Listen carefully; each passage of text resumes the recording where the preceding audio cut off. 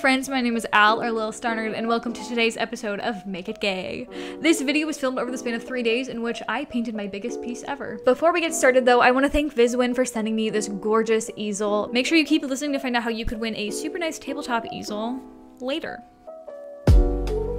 So I said that this is my biggest piece ever, uh, and that's like that's mostly true. Um, I have worked probably about this big before, but that was back in high school on paper instead of canvas, and I put about 5% effort in back then. Um, so I don't think it counts. I don't think that counts. We're just gonna go with that this that this is my biggest piece ever, okay? Okay, so obviously the sketch is done. Um, I did that off camera because I didn't feel like setting up all the filming equipment just to do a really quick sketch. And also, I uh, I was doing it on the floor, hunched over like a goblin, so it really wouldn't have been great viewing material anyways. I did a grid method to do the sketch. Um, I just put the picture that I wanted into Photoshop, put it at the same dimensions as the canvas, and then I did a grid every, I did a two by two inch grid, and then I drew a two by two inch grid on my canvas, and then just did the sketch by grid, which was like, thank God I did. I cannot draw large scale, and if I had tried to do it without the grid, I probably would have taken like four tries, um, but I did it in one go, so that was good. So now I just have to actually do the painting, which is really scary. I'm really scared. Obviously, I've never done anything of this size, and I genuinely just do not know what to expect. First of all, first of all, I really, really, really love the sketch. I'm really happy with how the sketch came out. So doing, like, doing the painting means possibly ruining the sketch, which I don't want to do. Two, I'm really, really scared to mess up the easel. It's really pretty, and I really love it, and I'm a messy painter. And eventually the easel has to get messed up, but I don't want it to be now. And then also, I, I don't know how long it's gonna take. I have a time limit, I have a window that I am working in, and I have no idea how, some, how long something this big is gonna take, and I am worried. I'm worried about it. So clearly I chose to paint the classic piece, The Fisherman and the Siren, but I made it gay. I really want to make some more um, Mullima make it gays because my ratio is honestly pretty whack. I think there's only one like gay men piece. but I keep picking pieces that have gorgeous, like gorgeous women, and I don't want to change them or sacrifice them for the making it gay. For this one, I really didn't want to change like the beautiful silhouette that the mermaid makes with her stomach and her breast. It's literally so gorgeous. I didn't want to sacrifice that, so um, they they had to both be women, you know which you know i we're not going to get into the specifics of gender identity and sexuality but i know people don't have to necessarily be like but sometimes to make it easier to read in you know in the paintings it's easier to go with like binary obvious choices um, i know that's not inclusive i'm working on it so let's get into the history. The Fisherman and the Siren was painted by Frederic Leighton in 1856 and completed in 1858, and it's an oil on canvas. Leighton was a hugely respected artist, and at only 48, he was elected president of the Royal Academy of the Arts, which I think was in London. Um, this painting is one of his early works. He was about 26 years old when he started the painting. The piece is inspired by a poem by Johann Wolfgang von Goethe called The Fisherman, which tells the story of a mermaid who lures a fisherman to his death in her waters as revenge for catching her fish or her children. In the poem, the mermaid tells him, like, man, if you could see how sick it is down here, like you'd want to stay here forever too, TBH, which I I love. I love the vibe. I love the flow and the dialogue of the poem. And while it's not imagery heavy, the imagery it does evoke is so beautiful. There are quite a few interpretations and translations of the poem, but I love the last few lines of one specific translation half drew she him and half sank he, and ne'er again was seen. Um, I love the reminder that the fisherman is kind of also at fault here, but also the idea that like he's going willingly for this beautiful woman. He's a bit of a simp. It's not just her forcing him into the water. I really like that. I'm going to leave a link in the description of the poem so you can check it out if you want to. I highly recommend. You can definitely read that longing and lust between the characters in Leighton's painting that is evoked in those last few lines.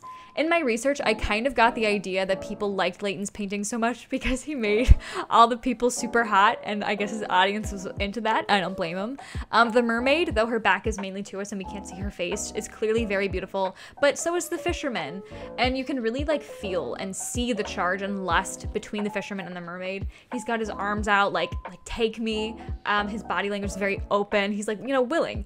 I think Leighton really is evoking the power of those last few lines, and you can really like feel the energy and seduction and lust between them. I'm, I'm reading a script, so I can't, I was very reactive, but oh, I was actively researching the painting, the, you know, the history as I was writing it.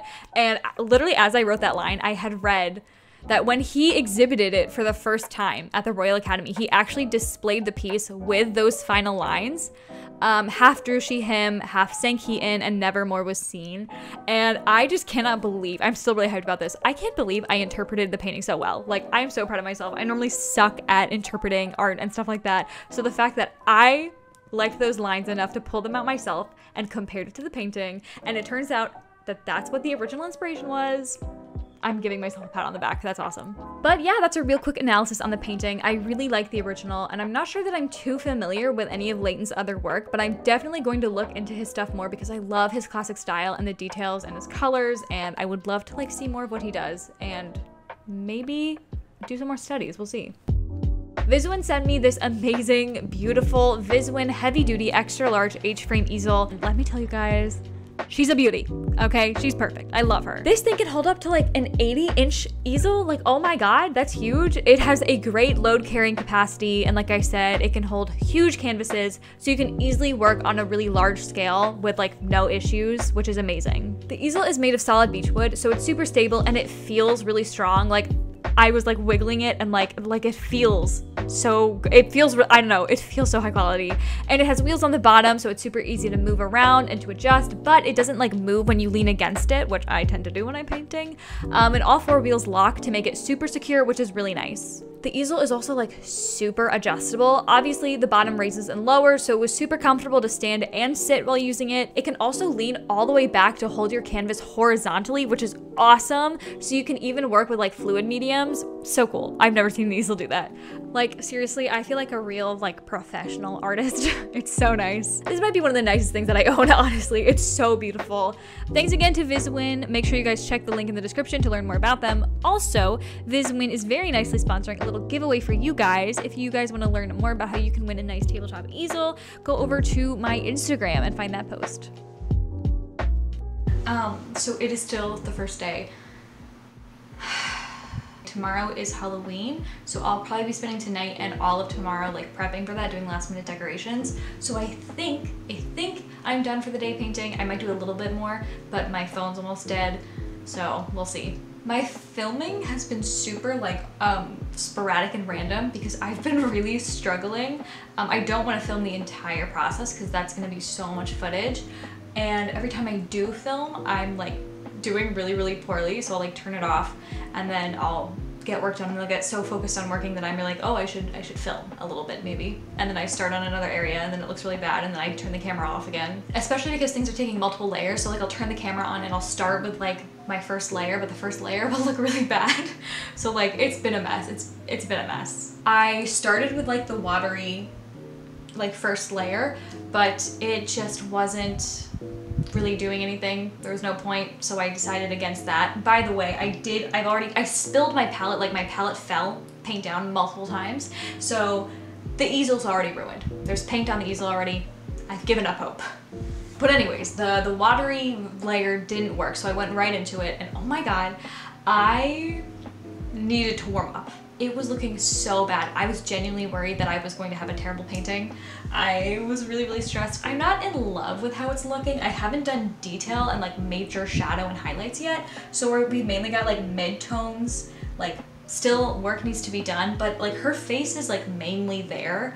Um, and that worries me because I don't love it. I don't love it. I've mainly just been having trouble like with the paints themselves. Like I cannot mix for the life of me. I cannot mix the colors that I want. I don't know what's happening, but like I cannot mix the right colors, which usually is not a problem for me. And also I feel like the paint is like looking cheap. Like I don't know. I've been, it's been like weird on the canvas. I don't know if it's because I've been I haven't painted on untreated canvas in a while because normally I either gesso it or I use like panel and I don't work on canvas. So I don't know if I'm just not used to it anymore, but it feels like gross. Not gonna, like it's tacky and like weird. But I think also I was kind of just in my head picturing it being like oils and acrylic is not like oils. Um, so I don't know. But compared to how it was going like right in the beginning when I was doing her face and how bad, like genuinely, like I was so worried. I was like, I wanted to throw up. I was so worried. Based on like compared to that, I think it's looking really good. I think I've kind of got the groove of, you know, what I'm doing. you know, it could be worse. I'm not, I'm, I'm hoping I can pull it all together in the end. But, I don't know. I definitely had some trouble with this piece. Normally it takes me a bit to get used to a piece and get warmed up and then it all comes really easily to me or at least I get in like the zone and the process goes pretty smoothly but but not this time. No part of this painting came easily to me. I struggled on every corner, I questioned every choice, I had to repaint every element at least twice, not to mention the amount of times that I bumped into things. My palette fell down paint paint down like 3 times. It was a mess. Um, I kept telling myself that pretty much everything about this piece was out of my element and new to me, so of course it wasn't going to come like naturally to me. But even knowing that, I still got super impatient with myself and had really high expectations, which of course I couldn't meet. And I don't know, I was I was frustrated. It was very difficult. I really, really struggled mixing my colors, which I normally really enjoy doing and I don't really struggle with. And it really started making me truly consider my palette, which is something I don't think I've ever done before. I've never really put thought into the colors that I use when it comes to acrylic. I just use whatever I have available to me, which is usually like tubes from Christmas and stuff, so they're not colors that I've chosen, and I never really cared or thought that it mattered. But this piece and like the struggling that I went through to mix my colors really made me start thinking about it, and I think I want to do like research about colors and take a trip to the store to really carefully pick out a new palette for myself. I think that would be really fun and you know, I really want to consider like what what colors I need and what kind of art that I want to produce. I don't know. I think that would be fun. I think that would be a good thing to do. I realized about halfway through that the fisherwoman's boob anatomy is off. There's something like really weird and off about it. I honestly don't know what it is, but the nipple and the boob look so good that I, I genuinely did not want to risk trying again because I was so, so happy with how it turned out. Like, I'm thrilled with how it looks. And so I didn't, I didn't want to risk doing it again. Also, TBH, if the great masters were allowed to not understand anatomy, like come on, you've seen those you've seen those creepy babies. You've seen Michelangelo. He's never seen a woman. It just looks like a muscular man with weird boobs on the pecs. They don't know how to do anatomy, so I don't have to know how to either, maybe, possibly. You know what I, you know, that's that's my logic. it bugged me a lot while painting, and even now that I'm done, I keep looking back at it and feeling very confused and conflicted. Um, I don't know. I think the boob is just gonna haunt me forever, and I just have to accept that. Throughout this piece, I definitely realized that painting really pale skin is hard. It's it's hard. The mermaid really gave me like so so much trouble. I had to paint her skin at least at least 4 times. Like completely repaint her completely everything about her like 4 times. It was so annoying and it was hard to get a light enough color for the highlights because she was so pale and every time I remixed the light color, it was usually like a little too pink, a little too yellow, which meant I had to go over the entirety of her skin again to match the shade because I kept it was awful. It was torture. Um and like the shadows were in the piece, they're pretty harsh shadows, but it transitioning between that really really light and that that shadow was really hard. And it was i didn't want it to be a soft gradient because it is a harsh shadow but it was just so hard to make it not look weirdly dark. And her skin kept looking like lumpy because the paint was dry so i couldn't get a soft blend in the lighter areas just like the different you know shades in her skin. So any slight shading at all looked like super harsh which made her look weird and lumpy. It was really frustrating and when I was doing her skin, that was one of the points that I was like, oh my god, this painting is gonna turn out terrible. While I low-key hated working on the piece, I'm pretty sure it's something that I really, really want to keep working on, even though it was, oh my god, it was awful. My back hurt. It used so much paint. Like, if you regularly paint big things, on a regular basis, you must go through so much paint. I went through so much paint. It was ridiculous. It took so long there were a lot of there were a lot of downsides to working on a big canvas. Um, but but it was weirdly like so much more rewarding than a small piece. Normally with like smaller canvases, I spend like a few hours on them and they usually come out good, but like in the same way that all of my pieces are like kind of good and that gets kind of boring and then they just get stacked up in my closet. But this process was so much more like intimate, like spending days on the same painting, having so much room for so much detail, spending hours on just the same area, attempting it multiple times, really truly considering the painting, the paint that I'm mixing, going through like a roller coaster of emotions with it. And then in the end, you get something that means so much more than a quick little portrait on a small canvas that I make every other week. This process was weirdly transformative for me, which I feel a little ridiculous saying, but it was. It was weirdly like I learned a lot about myself as an artist. And I was also kind of exposed to a lot of things that I normally kind of hide myself from as an artist. So even though it was super scary and intimidating and hard and tiring, I definitely think painting large scale is so much more worth it, and I definitely want to keep doing it. Don't get me wrong, um, painting on small canvas is great too. I'm not saying it's not or that large is objectively better, but because it was like a new first experience for me, it was like weirdly like magical and I definitely see the benefits and that they outweigh the cost. you know what I'm saying? I think from now on, I'm going to research the pieces I make gay before I actually start working on the piece.